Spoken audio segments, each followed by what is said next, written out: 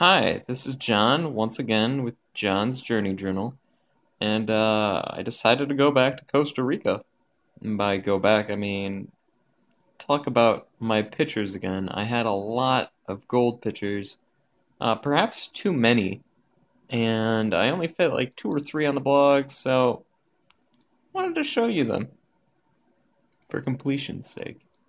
So here's the gold museum outside itself. It's, you know, barred and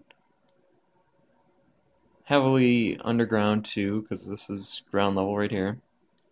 Uh, and it was actually a bank that controlled the museum.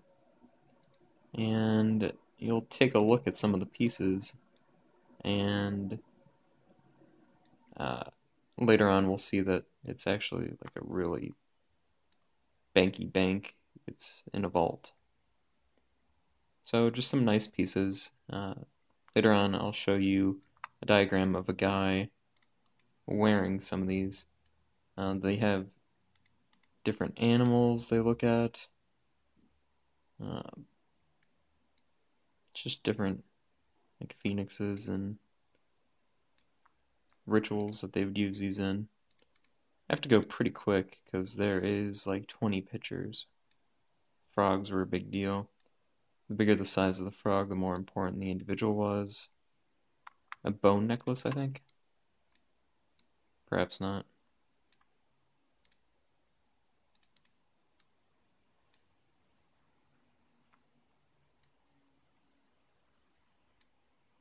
Nothing to narrate too much. If I'm going too fast, you can always stop the video.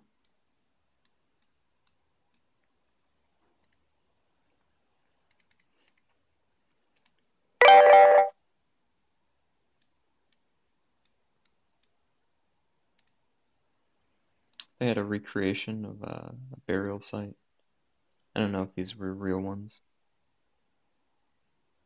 Also, I don't know why there wouldn't be a skeleton in comparison to the gold remaining there. Seems like a weird thing for the loot hoarders to, to loot.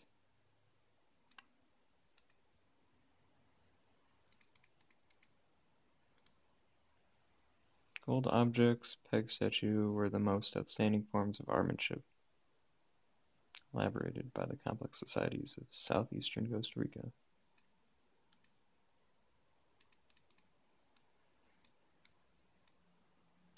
Yep, they had a lot of different shields. I'm wondering if that's like a family crest or something. I know they gave these similar ones to shamans, or more important individuals. And they would actually break these when the person died. So I don't know how these remain intact. Uh, maybe it was they were stolen, pillaged, or something. Very detailed. Nice craftsmanship just room full of these, and I would each picture would be you know just one panel. Just kind of shows the that last picture was just uh, showing the location and raw material.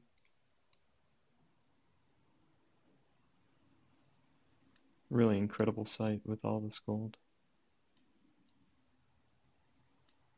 Yeah, I hadn't seen as, as much gold in my life anyways. Here's a example of how they would wear these gold pieces. The headband, the earrings, the neck thing, a disc, shoulder, sphere, and then ankle bracelets. Maybe this was a form of armor. Although gold makes really terrible armor.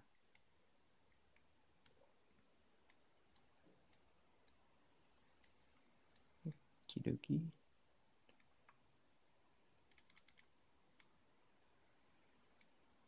Kind of like a antelope.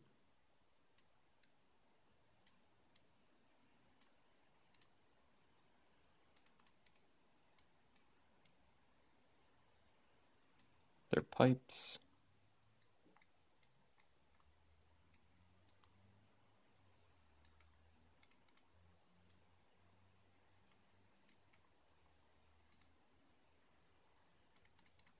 More of those V-shaped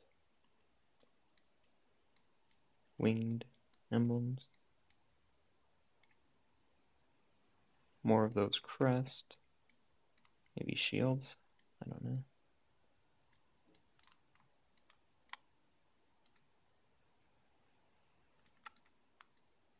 And these are all different pictures of the different segments.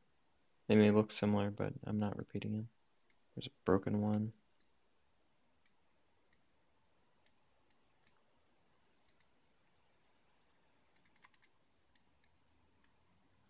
A very elaborate one.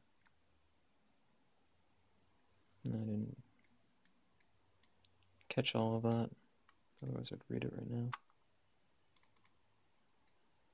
Some objects were designed to hold mountings or bear encrustations. The setting was wax model and quartz type of stone or object to be inserted. Polished stones and resin of diverse colors. Sometimes it was built matched. Pieces, decoration. Alright. It's cool. I know this is a jaguar. It's a bat.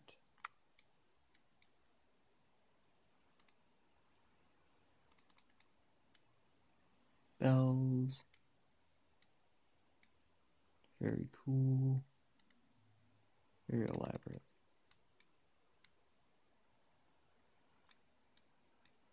This seemed to be the most common shape. I mean, along with these, these crests.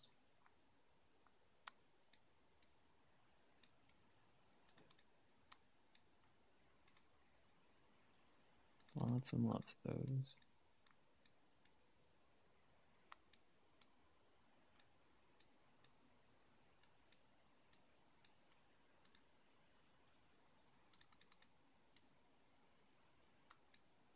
Necklaces as well. Breastplate. Told you there was a lot of pictures. I don't know what these are. Wind chimes? No. Don't know. Interesting though. These are very large pieces. Frogs. Very cool looking frogs. More shields, more dragons. Crocodile. And then, yeah, it was in a vault. So they'd make sure you'd stay in there. They also had other art too. But that's for another time. Alright, thanks. Hope you enjoyed.